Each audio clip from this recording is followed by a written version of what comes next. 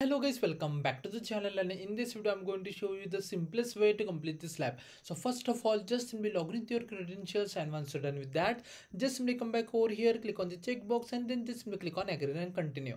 Now just simply wait and just simply activate your cloud shell. It will take a couple of seconds so just simply wait for that and now just me click on continue. Now in the description box of this video i will share all these commands. So basically what you do you have to come back to the lab instructions and just simply click on the task number three. Now just simply scroll down and from here you can see from the point number five of the task number three you can see this region. So just simply copy this region carefully copy like this come back over here and just simply paste over here. And make sure that there is no extra space after equal to. Now copy all these command like this way copy like this come back over here paste hit enter. Wait for a second and then just simply click on authorize. Now you have to just simply wait for this command get execute and once it's done you are done with this lab. So just simply wait for a couple of minutes and after that we will check the score for the lab